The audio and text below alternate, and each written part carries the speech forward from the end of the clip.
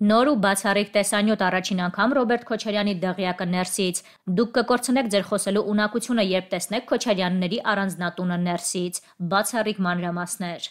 Արմլուր.am-ին հասած տեղեկությունների համաձայն Երևան քաղաքի բնակիչ Արիկ Տիգրանյանը գնացել է ՀՀ երկրորդ նախագահի տան դիմաց եւ սկսել հայհոյանքներ հնչեցնել, սպառնալիքներ տալ, վերջինիս ընտանիքի հասցեին բարձրաձայն գոռալ եւ մեծ աղմուկ բարձրացնել։ Արդյունքում դեպքի վայր են ժամանել ոստիկանության աշխատակիցները բերման ենթարկել Արիկ Տիգրանյանին եւ դեպքի արդիվ նյութեր են նախապատրաստել։ Մեծ հայտնի դարձավ նաեւ, որ Արիկ Տիգրանյանին ոստիկանության բաժին տանելուց հետո նրանից բացատրություն են վերցրել եւ ստորագրությամբ ազատ արձակել։ Տեղեկությունը փորձեցինք ողջել ոստիկանության հասարակային քաղաքականության հետ կապերի եւ լրատվության վարչությունից, որտեղից ի պատասխան հայտնեցին, որ 22:40-ի սահմաններում հաղորդում է ստացվել ոստիկանության բաժին որ ժամը 21:15-ի սահմաններում Իսակովի պողոտայի 27 հասցեում ՀՀ քաղաքացին բացահայտ անհարգալից վերաբերմունք է դրսևորում հասարակության նկատմամբ սեռական բնույթի հայհոյանքները հնչեցնում։ Դեպքի արդիվ նյութեր են նախապատրաստվում։ Իդեպ սա առաջին դեպքը չէ, որ կոնկրետ անձին գնում են ՀՀ երկրորդ նախագահի տան դիմաց եւ կոնկրետ քայլերի են դիմում։ Դեռևս 2016 թվականին նման օրինակ եւս մեկ դեպք արձանագրվեց Ռոբերտ Քոչարյանի տան ուղությամբ։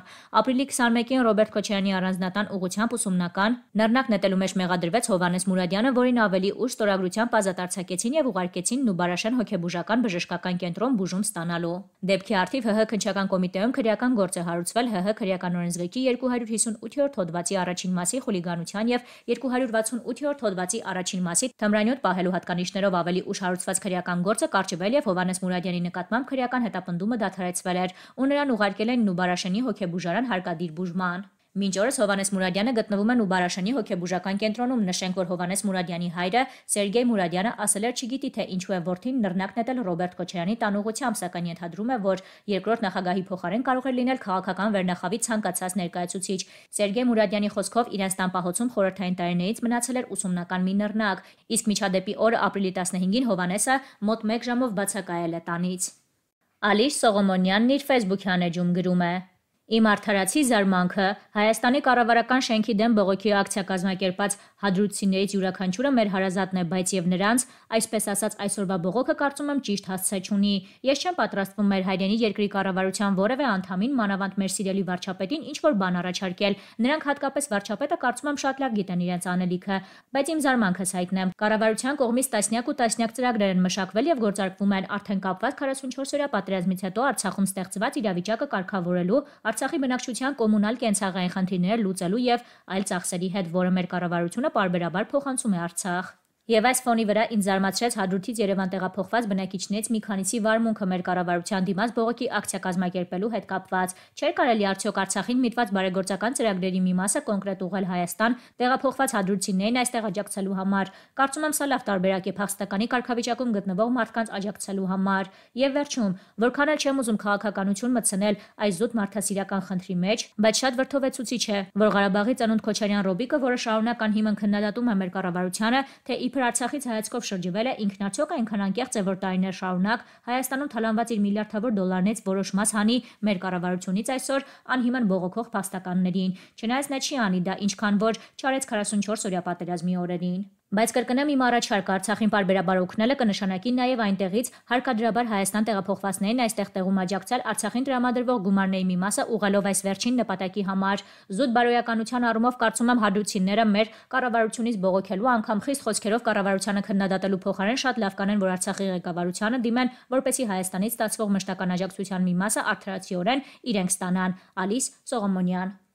Ազգային անվտանգության ծառայությունը բացահայտել է ՏՏ կիրառմամբ խարդախությամբ քաղաքացիներից խոշոր չափերով գումարներ հափշտակած հանցավոր խումբ։ ՀՀ ազգային անվտանգության ծառայության տեղեկատվական անվտանգության եւ կառավարական կապի գլխավոր վարչության աշխատակիցների կողմից իրականացված օպերատիվ հետախուզական համարերի միջոցառումների արդյունքում ողջվել է, որ ԲԲ-ն եւ ԴԱ-ն տարբեր անձանցից խարդախությամբ առանձնապես խոշոր չափերով գումարներ հապշտակելու հանցավոր մտադրությամբ միավորվելով եւ ստեղծելով կայուն կազմակերպված խումբ, գործելով դրա կազմում կատարել են դերերի բաշխում, հանցավոր արդյունքին հասնելու եւ հանցանքն առանց խոչընդոտների կատարելու համար վարձել են համակարգչային բնագավառի մասնագետ եւ Facebook սոցիալական ցանցում տեղադրել գովազդ որ Արագաջակցություն անվանումով կազմակերպությունը ֆինանսական խնդիրներ ունեցողներին շտաբ կարգով ընդամենը 10 րոպեում առանց երաշխավորի, առանց վարկային պատմության տրամադրում է մինչև 4 միլիոն ՀՀ դրամ վարկ։ Նման եղանակով կազմակերպված խմբի անդամները տասնյակ անձանց ուղղորդել են մուտք գործել աջակից.com կայք, որտեղ վերջիններս լրացել են վարկ ստանալու վերաբերյալ առցանց հայտ։ Հայտ ներկայացրած անձանց հետ հերախոսային կապ է հաստատել կազմակերպած խմբի անդամներից ԲԲ-ն մտածածին անուններով ներկայանալով որպես վարկային կազմակերպության աշխատակից, վարկ ստանալու ցանկություն հայտնած անձանց մոլորեցնելու նրանց գիտակցության եւ կամքի վրա ներազդելու նպատակով կեղծ հավաստիացումներ է տվել, թե իբր վարկի գումարը հաստատվել է եւ առաջիկա 20 րոպեների ընթացքում վարկը ստանալու համար հայտատուներից պահանջել 094 60 58 68 077 13 73 62 բջջային հեռախոսահամարներով Telcel վճարահաշվարկային համակարգում նախատեսված բացված հաշիվներին փոխանցել վարկի մարման առաջին ամսվա գումարի չափով կանխավճար։ Նշված եղանակով ստանալով պահանջված գումարները վերջիններս 1 տասնյակից ավելի անձանցից 2021 թվականի հուլիս-սեպտեմբեր ամիսներին ընդհանուր առմամբ խարդախությամբ հափշտակել են առանձնապես խոշոր չափերով շուրջ 3 միլիոն 939800 ՀՀ դրամ գումար եւ տիրացել դրան, որն էլ Telcel վճարահաշվարկային համակարգից տարբեր օրերի կանխիկացրել է կազմակերպված խմբի անդամներից մեկը։ Դեպքի արդիվ ՀՀ ԱԱՑ քնչական դեպարտամենտում հարուցված քրեական գործի քննության սկզբնական փուլում կազմակերպված խմբի կազմում առանձնապես խոշոր չափերով հափշտակություն կատարելու կասկածանքով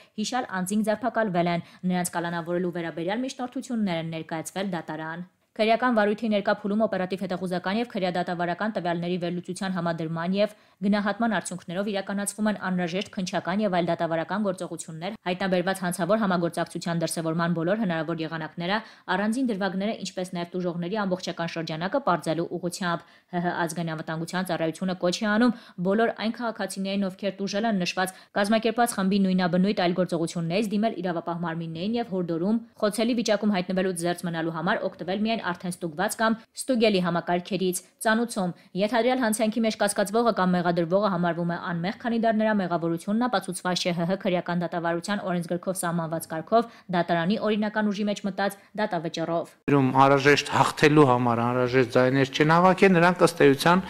ավագանու տեղական խորհրդարանի տրամաբանությամբ աշխատող ավագանու անդամ կլինեն այդ օրինակը մենք ունենք Երևան քաղաքում ունենք Վանաձորում ունենք Գյումրիում եւ հիմա ընդլայնվել է եւ ես սա համարում եմ ուզում եմ հիշեցնել որ սա նաեւ 2018 թվականին մեր ստանձնած քաղաքական պարտավորություններից է մենք ասել ենք որ պետք է քաղաքական այս գործընթացը ժողովրդավարական շատ կարևոր գործընթաց է եւ հետեւաբար նաեւ կարծում ենք ընտրողների ազդեցությունը